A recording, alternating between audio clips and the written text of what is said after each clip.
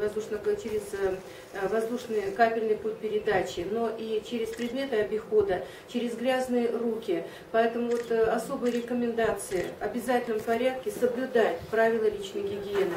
Нужно обязательном порядке чаще мыть руки с мылом, как положено, и чтобы и э, дети, которые посещают детские дошкольные учреждения и школы, они тоже это делали почаще. И контроль должен осуществляться со стороны, прежде всего, педагогов и воспитателей.